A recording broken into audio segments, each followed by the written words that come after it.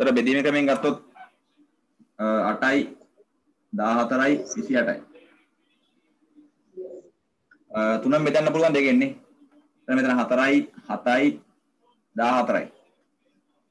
දැන් මෙතන ඕනනම් දෙකෙන් බෙදන්න පුළුවන් මේ දෙක. නැත්තම් හතෙන් බෙදන්න පුළුවන් මේ දෙක. කැමති එක. දෙකෙන් බෙදුනේ කමාන්න දෙකෙන් පටන් ගමු. දෙකෙන්. එතකොට මේක දෙකෙන් බෙදුවම එන්නේ දෙකයි. හත බෙදන්න බැරි ඉන්න හතම එහෙම ලියනවා. 14කින් බෙදුවම ආයි 7යි. දැන් ආයිත් මේ දෙන්න පුළුවන් හතෙන් බෙදන්න නේ. එහෙනම් හතෙන් බෙදන්න. මේක බෙදන්න බෑනේ දෙක එහෙම ලියනවා. හත බෙදුවම එකයි හත බෙදුවම එකයි හතේ. එහෙනම් උත්තර ගන්න පුළුවන් මොකද්ද? කුඩාම පොදු ගුණාකාරය දෙවරක් දෙවරක් හත් වරක් දෙවරක් එක් වරක් එක හරි මොකක්ද දෙන්නේ දෙවරක් දෙක හතරයි හතරක් හත කියන්නේ 28යි 28 ඒවා දෙක 56 නේ. 56 ඊට පස්සේ 20 30 40 ගන්න පුළුවන් නේ. ඒ ගන්නේ කොහොමද? 20 30 40 දෙකෙන් බෙදන්න පුළුවන්. මෙතන එතකොට 10යි 15යි 20යි මේකත් මේ දෙන්න පුළුවන් දෙකෙන් බෙදන්න දෙකෙන් බෙදුම මෙතන මෙතන 5යි මෙහා බෙදන්න බෑනේ 15 එහෙම ලියනවා. මේක මේක පස්සේ ආයි පුළුවන් දැන් පුළුවන් පහෙන් බෙදන්න ඔක්කොම. දැන් ඔක්කොම පහෙන් බෙදන්න පුළුවන් නේ? ආ ඉස්සෙල්ලා පහෙන් බෙදන්න. ආ මෙතන මේ දෙකෙන් දෙකට බෙදන්න කලින් පහෙන් බෙදලා ඉමුනේ. අයි මේ තුනම බෙදන්න පුළුවන් පහෙන් නේ. එන එක පහෙන් බෙදලා. එතන මේ පහෙන් බෙදුවම 10 2යි 15 3යි 20 4යි. හරි දැන් දැන් පුළුවන් 2යි 4යි දෙකෙන් බෙදන්න. එක බෙදුවම 1යි 3 බෙදන්න බෑනේ 3 3 එහෙම තියෙනවා. හතර බෙදුවම දෙකෙන් 2යි. හරි දැන් මේ තුනෙන් අර වගේ සංඛ්‍යා දෙකක් නැහැනේ බෙදන්න. එහෙනම් නවත්තනවානේ. දැන් උත්තරේ එතන මොකක්ද? කුඩා පොදු ගුණාකාරය. 2යි 5යි 2යි 1යි 3යි 2යි නේ. දෙවරක් පහ 10යි. 10 වරක් 2 20යි. 20 වරක් 1 20යි ආයෙත් 20 20 වරක් 3 60යි 60 වරක් 2 120යි. 120 තර 4යි 7 අභ්‍යාසය දෙවණින් හරි. ඒ කියන්නේ හමුදා සංදර්ශනයක කාලතුවක්කු තුනක් තියෙනවා. හරිද? එකක් 12 අනිත් එක තප්පර 16 අනිත් එක තප්පර 18 බැගින් නිකුත් වෙනවා. මුල් වලට කාලතුවක්කු තුනම එක්වර නිකුත් කළාලු. වෙඩිනේ. නිකුත් කළේ නම් යලින් තුනම එකවර වෙඩි නිකුත් කරන්නේ කොපමණ තප්පර ගානකට පසුවද කියලා අහනවා. එතකොට දැන් මේක උත්තරේ ගන්නේ කොහොමද? මොකද ක්‍රමේ? දැන් අපි ඔතන මේ 12 16 18 නැතුව පොඩි ගණන් ගමු. අපි හිතමු දැන් කාලතුවක්කුවක් තියෙනවා. එකක් තප්පර දෙක අනිත් එක තප්පර 4 අනිත් එක තප්පර 8 8 නෙමෙයි. අ 6 ගමු. හරිනේ ඔන්නෝම තියලා කියලා. ඊට පස්සේ එකපාරම දැන් එකම අවස්ථාවේ උණ්ඩට යනවා. ආයෙත් එක අවස්ථාවේදී උණ්ඩ යන වෙලාව අහනවා. හරි. දැන් උත්තරේ ගන්න මොකද්ද කරන්නේ? දැන් අපි දෙක ගත්තොත් මේ දෙකේ චක්‍රය අපි ලියමුකෝ. දෙවරන් එක දෙකයි දෙවරන් දෙක හතරයි තුන හයයි අටයි 10 12 14 16 18 20 22 24 ඕමනේ. ඊට පස්සේ හතර චක්‍රේ හරි. 4යි 8යි 12යි 16යි 20යි 24යි 28යි. ඊට පස්සේ 6 6යි 12යි 18යි 24යි 30යි 30යි එහෙම යන්නේ. දැන් මේ මේකෙන් මොකද කියන්නේ මේ මේ අපි හිතමු මේ පළවෙනි කාලතුවක්කුව කියලා මේ දෙවෙනි එක මේ තුන්වෙනි එක හරි. ඒතර පළවෙනි එකෙන් අපි කොහොමද යන්නේ? එකෙන් මේ කාලතුවක්කු උණ්ඩ යන්නේ දෙකෙන් දෙකට යන්නේ නේ. ඉස්සෙල්ලාට තප්පර දෙකට. ඊට පස්සේ හතරට. තප්පර හයට. අර ඔන්නෝම යන්නේ දිගටම යන්නේ. මේක තමයි ක්‍රමේ. තප්පර දෙකෙන් දෙකට මේකේ උණ්ඩ යනවා. මේකේ උණ්ඩ යන්නේ කොහොමද? හතරෙන් හතරට. හතරේදී, අටේදී, 12ේදී එහෙම යන්නේ. මේ කියන්නේ 6න් 6ට. 6ේදී 12ේදී ඔහොමනේ. එතකොට මේ තුනේම එක වෙලාවට ආයි එන්නේ මොන වෙලාවද? එක වෙලාවටම නිකුත් වෙන්නේ මොන අවස්ථාවේද? ඒ කියන්නේ මේ තුනටම පොදු එකක් නේ ගන්න ඕනේ.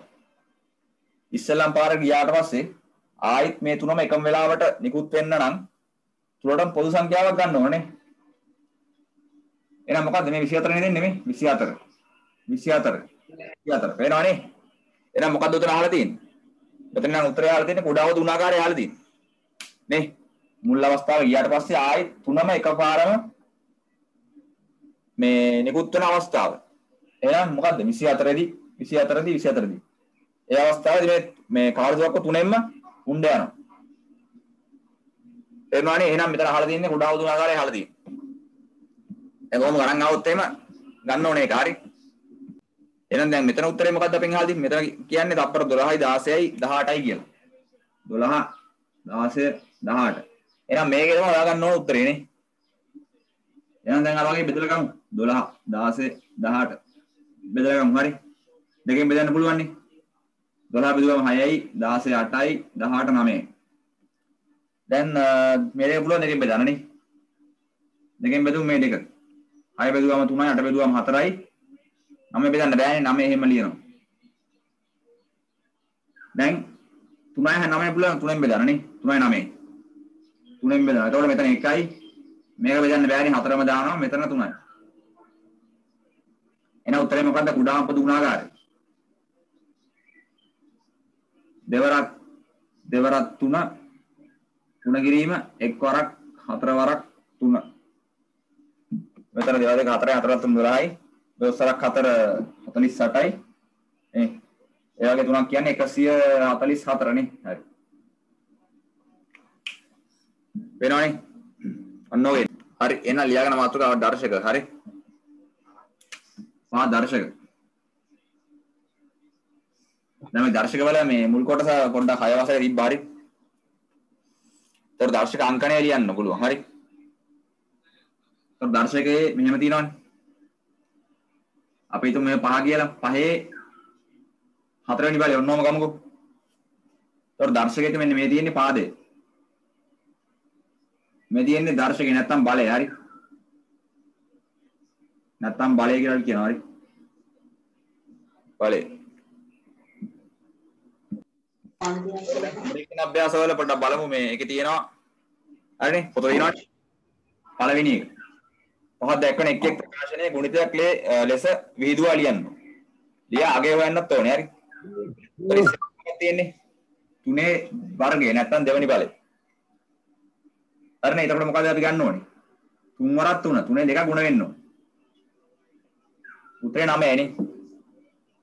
අ තව එකක් ගමු හතරවෙනි ගානේ. ඒක මෙහෙම තියෙන්නේ. 6 වර්ගයේ 6 දෙවෙනි බලය ගුණ කිරීම 5 දෙවෙනි බලය 5 වර්ගය.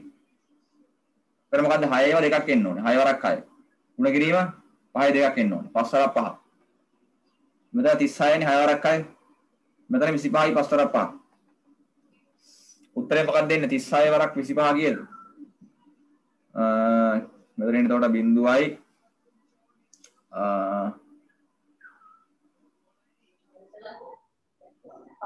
මෙතන 800 නේ 800. තෙර 800ක් කියන. හරිනේ. ඔන්නෝම ගන්න තියෙන්නේ. අර උදාහරණ ලියා ගන්නකො බලන්න. දැන් ඊට පස්සේ දෙකේ කොහොමද තියෙන්නේ පහ දෙකේ විහිදුවාලය ලියලා මේක තියෙන්නේ. එක ලියන්න ඕන දර්ශකවල ලියන්න අනිත් පැත්තේ. මේකම අනිත් පැත්ත.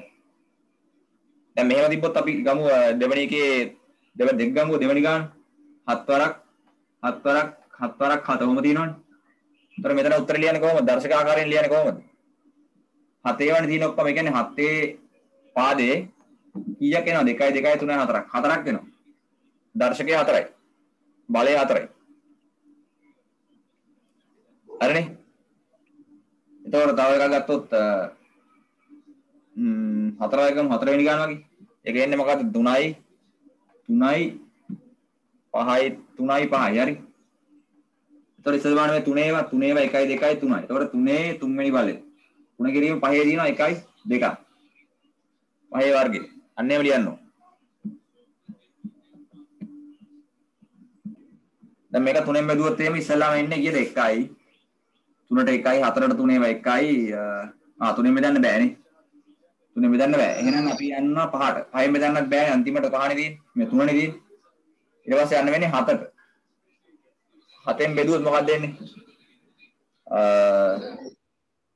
34ට හතේවා කීයද 4යි 28යි නේ. ඉතුරු වෙනවා 6ක් 63ට තියෙනවා 9ක් නේ. 49 එන්නේ. ඒකයි හතෙන් බෙදන්න පුළුවන්. 7යි. හත බෙදනවා හතෙන් ආයෙත් එකයි නේ. හරි. දැන් මොකක්ද එන්නේ? කියන්නේ හතේ තුන්වෙනි බලයයි නේ. නැත්නම් හතේ ගණය. එහෙනම් ලියන්නේ කොහොමද? පාදය 7 බලය නැත්නම් දර්ශකය 3 මේ කියවන්නේ කොහොමද? හතේ තුන්වෙනි බලය. නැත්නම් හතේ වර්ගය කියලා මේ වර්ගය නෙමෙයි ගණය කියලා කියනවා. හරි. අපි යමු අභ්‍යාසය කෙලින්ම අභ්‍යාසයට යන්නේ. අභ්‍යාසයේ 25 නෙමෙයි යමු 64 ගමු. පහ එක අභ්‍යාසයේ හරි.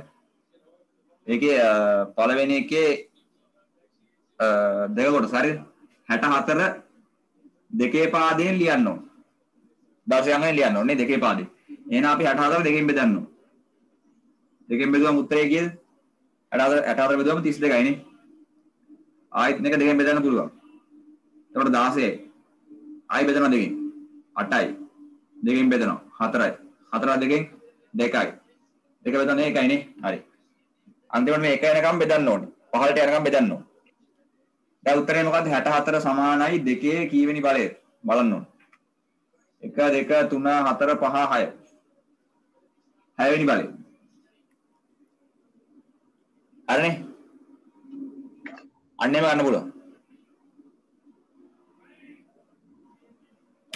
ඊට පස්සේ තව තව උදාහරණයක් ගමු 81 තුනේ පාදෙන් ලියන්න ඒක ගන්නේ කොහොමද 81 තුනෙන් බෙදුවම 27යි. ආ තුනෙන් බෙදනවා 9යි. 9ක් තුනෙන් බෙදනවා 3යි. තුනෙන් බෙදනවා 1යි. එනේ 81 කියන්නේ කීයද? 3 1යි 2යි 3යි 4 4 වෙනි බලය. දැන් මෙහෙම කෙලින් බෙදන්න අමාරු නම් පැත්තෙන් බෙදලා උත්තරේ දාන්න. අවුලක් නැහැ හරිද? නැත්නම් ඉතින් මේක බෙදන එකත් ඇත්තට අමාරු අමාරු නැත්නම් කෙලින් බෙදන්න හරි. 64 තුනෙන් දෙකෙන් බෙදුවම 32යි. දැන් සාමාන්‍ය ලොකු ගණන් આવොත් එහෙම එහෙම බෙදන්න අමාරු නම් පැත්තෙන් බෙදන්න කවන්නේ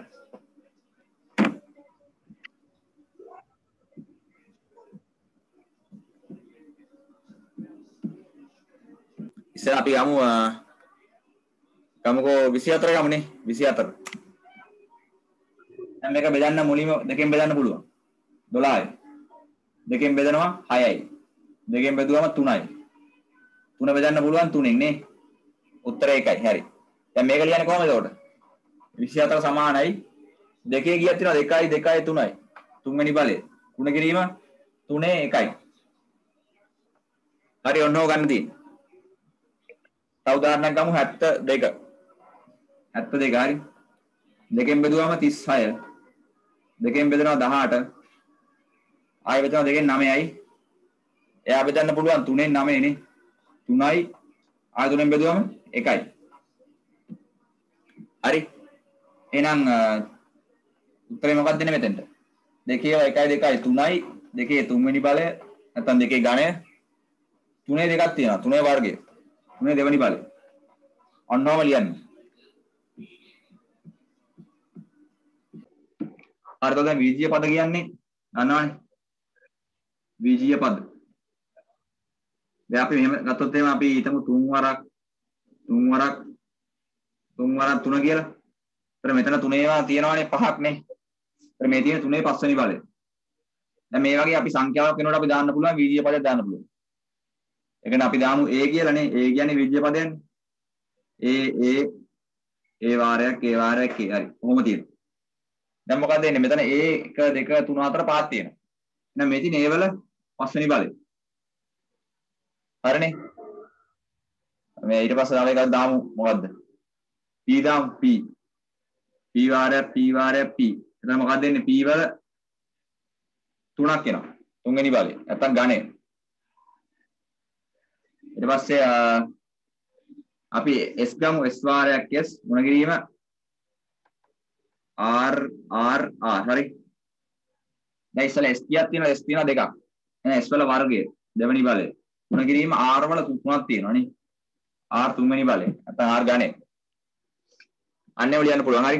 ලියා ගන්නකො එම අවුත්තේ පස් වරක් පස් වරක් පස් වරක් A වාරයක් A B වාරයක් B වාරයක්. B දැන් මොකද වෙන්නේ? දැන් මෙතන ඉස්සර සංඛ්‍යා තියෙනවා 1 2 3යි නේ. පහේ තුන්වෙනි බලය ඒහි දෙවනි වර්ගය. වර්ගය? බීහි තුන්වෙනි බලය. ඔව්. තුන්වෙනි බලය නැත්තම් ගානේ. හරි. දෙකම හරි. දැන් දැන් මේ වගේ ගුණිත තියෙනවනේ දැන් මේවා? ගුණිත වුණා මේක ලං කරලා ලියන්න පුළුවන් දැන්. හරි. ඒ කියන්නේ මෙහෙම. පහේ තුන්වෙනි බලය ඒ වර්ගය B ගානේ ඔන්නෝම ලියන්න පුළුවන්. එකට ලං කරලා ලියන්න පුළුවන්. හ්ම්